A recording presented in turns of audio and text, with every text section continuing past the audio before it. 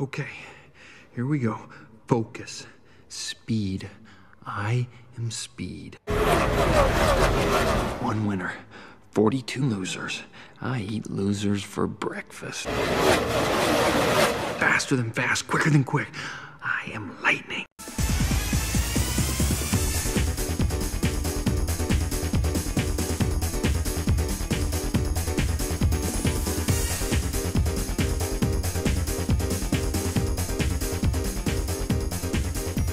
Howdy everybody, Pinstripe here, what is going on? Today I've got a very special video here for you guys, that of Daytona Championship USA that myself and my colleagues at Sega have been working on and playtesting for the last few months. And just to kick things off, I would like to thank my bosses for allowing me to record and overall just make this video, because it's not every day that you get to make a video about a game that has A, just been released, and B, is actually an arcade game, so I could actually record from the cabinet um, which is pretty damn awesome. So this game contains six different tracks, three of which most hardcore Daytona fans will of course recognize. We've got the two beginners of uh, Daytona International Speedway and 3.7 Speedway, the two intermediates of Lakeside Castle Speedway, which is the new track here that you'll see that I'm racing on, and uh, Dinosaur Canyon, and the two expert tracks of Metro City Raceway and uh, Seaside Street Galaxy. So the tracks I'll be showcasing in this video are of course Lakeside as you can see, uh, Metro and Seaside because the two expert tracks were probably my favourite tracks of all time.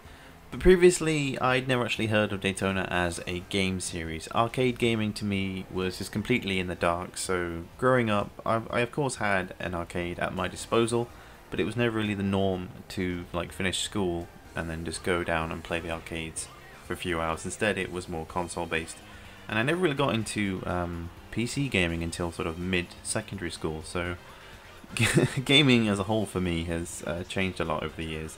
And to me personally, it's actually quite refreshing to both play and assist with the development of a game that is of a completely different platform to what I am normally used to. Now to many in the playtesting world, I am but a novice, seeing as this is the first major project that I've worked on and I've only really played the previous Daytona games before this um, a handful of times, so coming into it I wasn't really sure what to expect. Racing games I've always loved, but never really gotten into them.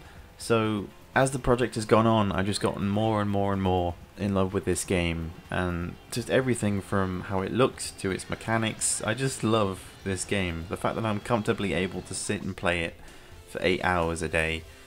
If that doesn't show how easy it is and how addictive it is to play this game, then I don't really know what will. Thinking about it as well, it did take me quite a while, a couple of weeks in fact, to master the mechanics of Daytona, which to many a hardcore Daytona fan probably sounds pretty weeny, but I mean, you know how it is when you first go into a arcade and you see a racing game, you never touch the brake, let's be honest. You race, you do not want to brake for anything, but of course the drifting mechanics in Daytona is what makes it so awesome. Now this, of course, is the second track I was talking about, Metro City, which is one of the expert tracks.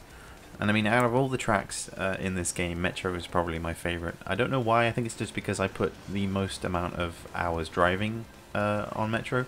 And I think it's the one track that I probably cared most for as far as its development goes as to how it looks and how it plays. And I think if you want a comparison aesthetically between Metro and uh, another track within the Daytona franchise, it would probably be the expert track from Daytona USA 2 Power Edition but the only real aesthetic is that they're both set in a city. But yeah, personally for me, out of the three new tracks that have been added to Daytona, Metro is the one that stands out for me. And I think it also comes down to the amount of cars that you're racing against. Uh, DIS and 3.7 have 40 cars, uh, which is the maximum within the game. Uh, Lakeside and Dino have 20, which is the minimum amount, but 30 obviously is what you're racing against on Metro and Seaside. And obviously, yeah, this being an expert track, you would expect it to be pretty damn difficult to beat. I am, of course, doing championship mode, which is even harder than a normal quick race. And so, yeah, Metro City Raceway is my favourite track of all time, which I suppose in some ways is ironic considering I've only been playing this game um, for 7-8 months, and it is my first Daytona game, as I've said. Um, but I'd certainly like to know what your thoughts are and what your favourite track is. From all Daytona games, past and present, let me know in the comments below. Let's get a discussion going. Um, and also, just for you guys who have grown up with and uh, played Daytona, just let me know your thoughts on everything and anything, because there's a lot that I don't know about this game um, as far as how its mechanics have changed, how graphically it's changed both in arcade and um, on certain consoles. So let me know everything and anything I would love to know. I think the coolest part about the job that I do is when the game is finally up and out there and we begin to get feedback about how the game plays, how many people have been playing it, what age range it is, all the little details that you kind of forget about because you've been playing the game for so long and you've gotten used to just playing it. You kind of forget that this game is being made and it's going to be bought by people. So actually being able to listen to your guys' feedback on social media, on on YouTube videos, I've I remember I spent one evening just sitting and searching and watching people's videos and reviews where they've sat down at the cabinet and they played the new Daytona Championship USA and I can sit there and I'm like, you know, this is the game that I've been playing. This is my game. You know, I didn't hand make it myself, but you, you get what I'm getting at. Overall though, if you'd have come to me 8 months ago and said, would you like to make a video about Daytona? My first question would have been, what the hell is Daytona? if you'd have said to me 8 months ago, you're going to be working for Sega, then I'd have called you a mad person and slowly walked away because it's not exactly something you hear every day or a company that you'd expect to be hired by. But here I am 8 months later and I've been playing this game since and it's almost become part of my identity, the fact that I know every single corner, every single turn, when to brake, all that sort of stuff. Um, overall, it has just been a humbling experience um, as far as I'm concerned. Uh, the fact that I work for Sega, I hate saying that every time because I feel like I'm trying to one up everybody, like, oh, I work for Sega, blah blah.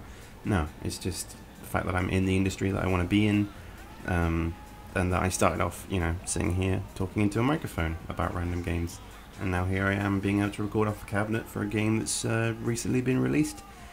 It's certainly something. Like I said at the beginning though, I would like, again, to thank my bosses at Sega and the team that I've made, the friends that I've made um, whilst playing this game, and uh, long may it continue, I suppose. And I hope that you guys get the chance to play this game at the first opportunity. But in the meantime, guys, that's going to wrap everything up. Hope you enjoyed the video. Let me know your thoughts on everything in the comments, and I will catch you all later for the next one.